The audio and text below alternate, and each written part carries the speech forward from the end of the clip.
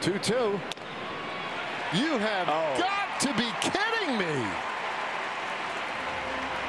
What in the world? We've just completely lost it here. This is just bad. Three consecutive pitches well off the plate. Catcher's having to move the glove back a foot to try to frame that thing. I mean, that's just so goodness. obvious.